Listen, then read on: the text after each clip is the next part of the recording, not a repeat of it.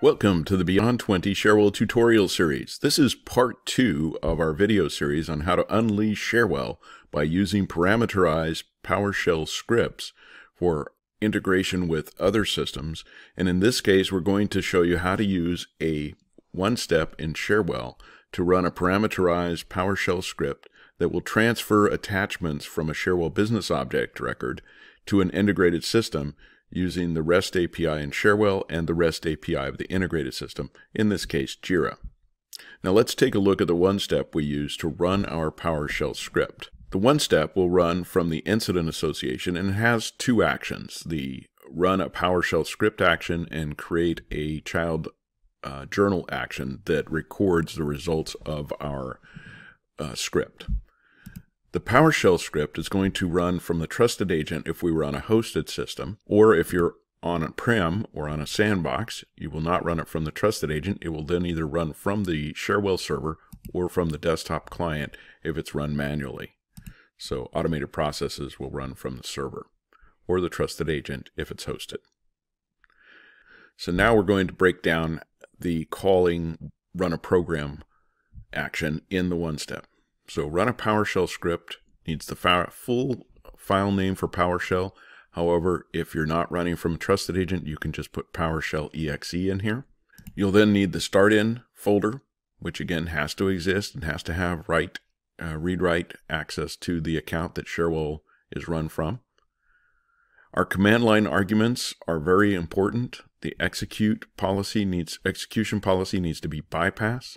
The window style needs to be hidden.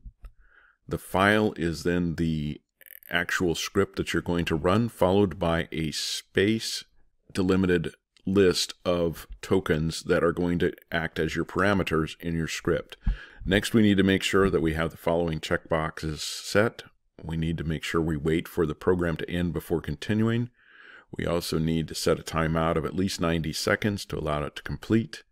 You can set that up to 180 seconds if you desire and then we need to store our exit code as a as the PS result. And then we're going to run it with no window. Now, in order to handle our result as an error message or a success message, when this comes back out, we're going to need to store that as a stored value. So we're going to add one more action here that just simply sets our PowerShell exit code stored value. And we're going to set that to that error code that comes back from the PowerShell script.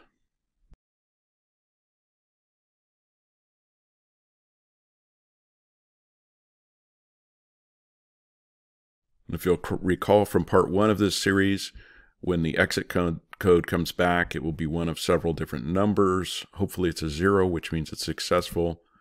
And then we'll record that in our journal when we've uh, run the script.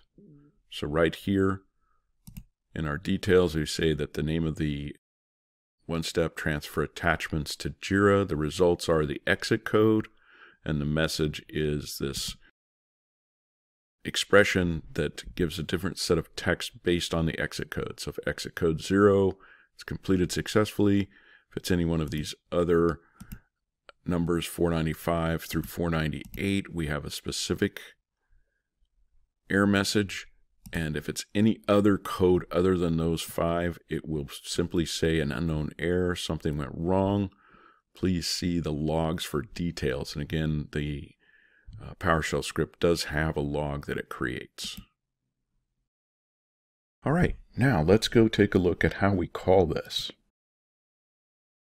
So here we have an incident. It's got several attachments of several different file types. We've got some images, we've got a, a spreadsheet, uh, looks like we've got a PowerPoint file, a Visio file, and a document. So just about every type of file you might conceive uh, as being attached to an incident.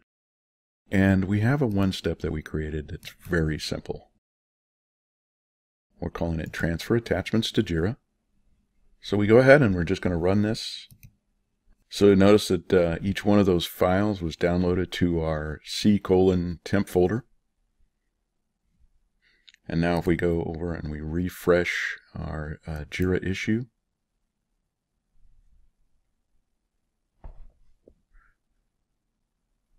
you'll see that each one of the files has been uploaded successfully into the JIRA issue.